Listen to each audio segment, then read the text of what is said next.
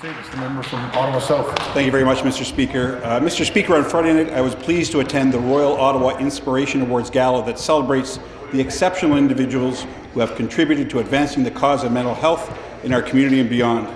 At the gala, we honoured and celebrated Gayle Grass, author of Iris the Dragon, a series of children's book, books aimed at starting conversations about mental health. Psychiatrist Dr. Abigail Ortiz, who is researching mood fluctuations in patients suffering from depression and bipolar disorder with the goal of being able to predict and prevent major manic and depressive episodes. Men's health advocate Jean-Francois Claude, who has campaigned for Men's Mental Health Day as an annual lead-up to Father's Day.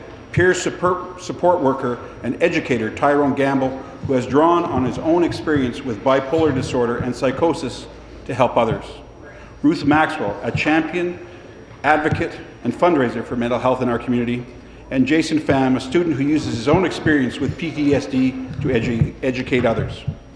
We also honored Margaret Trudeau for her efforts to break down the stigma that often surrounds mental health. Mr. Speaker, all of these individuals displayed courage and conviction, and I want to thank all of them for inspiring us. Thank you, Mr. Speaker.